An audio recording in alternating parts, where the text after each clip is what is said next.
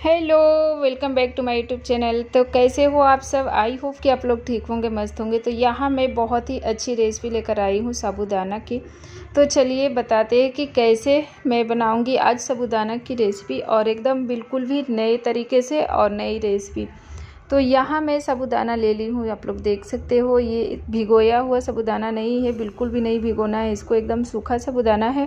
और इसको मैं मिक्सी जार में डाल ली हूँ तो सबसे पहले इसका पाउडर बना लेंगे। जैसे सूजी रहता है ना, एकदम सूजी जैसा इसका पाउडर बना लेंगे।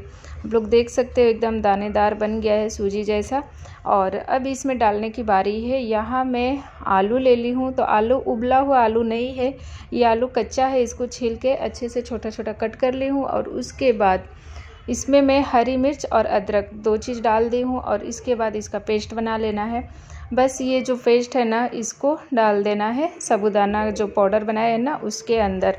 और ये अभी मिलाना है इसको। बाकी इसमें अभी क्या क्या डालना है तो यहाँ आप लोग से बताती हूँ। यहाँ आप सांभर मसाला डाल सकते हो, या इधर सांभर मसाला के जगह आप पास्ता मसाला डाल सकते हो, या मैगी मसाला डाल सकते हो, या पाव भाजी मसाला तो कुछ भी एक आप डाल सकते थे। यहाँ मेरे पास पड़ा था सांभर मसाला, मैं सांभर मसाला इसमें डाल दी हूँ।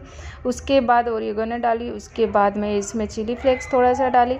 अगर आपके बच्चे को या आपको अगर ज़्यादा तीखा पसंद है तो आप इसमें ज़्यादा मिर्ची पाउडर डाल सकते हैं। यहाँ स्वाद के अनुसार नमक डाल देना है, जैसे मैं डाली। यहाँ अपने स्वाद अनुसार नमक डाल दी हूँ। और बस इसको कुछ नहीं करना, एकदम अच्छे से मिला लेना है, ताकि जो मसाला है ना, वो इसके अंदर अच्छे से मिल जाए। जो साबुदाना के पाउडर है उसके अंदर। तो बस इसको ढक के छोड़ देंगे बस पाँच मिनट के लिए और पाँच मिनट में ये सेट हो जाएगा। तब तक मैं इधर बोतल का काम कर लेते हैं। तो चलो बोतल में क्या करना है मुझे?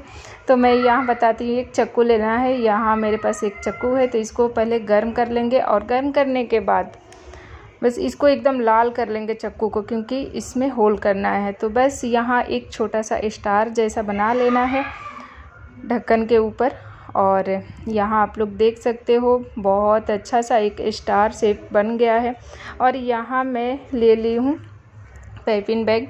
तो ये जो पैपिन बैग है ना तो इसको गिलास में डाल देंगे और उसके बाद इसमें जो पेस्ट बनाए हैं ना साबुदाना के तो सारा कुछ इसमें भर देंगे। क्योंकि बोतल में डायरेक्ट भरना मुश्किल है, बोतल के अंदर जाएगा ही नहीं। तो इसीलिए पाइपिंग बैग के सहारे से बोतल के अंदर इसको भरेंगे। तो चलो, सारा जो पेस्ट बनाया ना, सब ले लिए इसके अंदर और फिर बोतल के अंदर इसको डाल देंगे। तो चलो, कैसे डालते हैं, फिर बताते हैं। आप चाहे तो पैपिन बैग से कर सकते हो, लेकिन पैपिन बैग से क्या होगा ना कि स्टार शेप मतलब शेप नहीं आएगा। इसमें जो लंबा लंबा चकली जैसा आता है ना, वही आएगा। आप लोग देख सकते हो, ऐसे ही आएगा।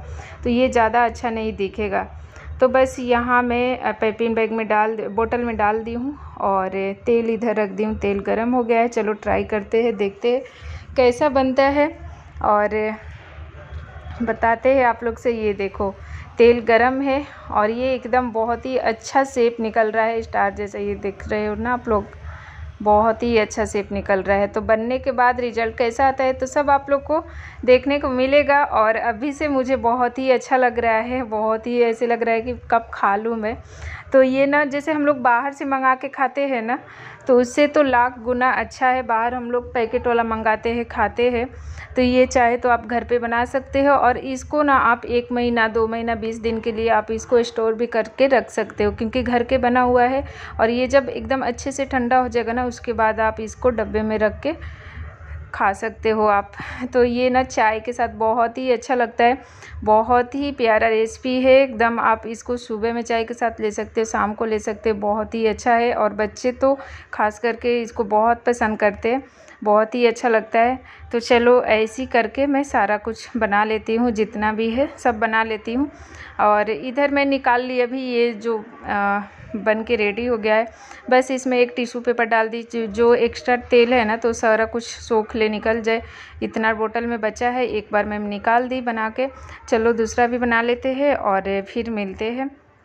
तो बस यहाँ बन के रेडी हो गया है। आप लोग देख सकते हो, बहुत ही अच्छा बना है, क्रिस्पी बना है, देखने में भी बहुत अच्छा लग रहा है और अभी खाने में भी बहुत अच्छा लग रहा है। मैं अभी खा कर देखी और यहाँ देख सकते हैं आप लोग कि कितना क्रिस्पी है। एक बार मैं ऐसे पकड़ रही हूँ तो टूट रहा है। बहुत ही अच्छा है तो चलो लेकर जाते हैं आर्यन के पास क्योंकि आर्यन बैठा है तो उससे पूछती हूँ कि कैसा बना है और आप लोग को कैसा लगा ये नई रेसिपी? तो आप लोग कमेंट में ज़रूर बताना कि आज के ये नई रेसिपी कैसी लगी? तो ज़रूर से ज़रूर बताना। मैं कुछ नया ट्राई की हूँ, फ़र्स्ट बार अपने ब्लॉग में तो मैं सोची क्यों ना आप लोग के साथ शेयर करूँ। तो मुझे तो बहुत अच्छा लगा और आर्यन को भी बहुत ही अच्छा लगा। आर्यन बोल रहे बहुत ही अच्छा है। तो चलो, कैसा लगा कमेंट में ज़रूर से ज़रूर बताना आप लोग। और अभी हम लोग खा रहे इधर, बहुत ही अच्छा लग रहा है। चलो, ऐसी नई नई रेसिपी आती रहेंगे। मिलते हैं नेक्स्ट ब्लॉग में। Bye bye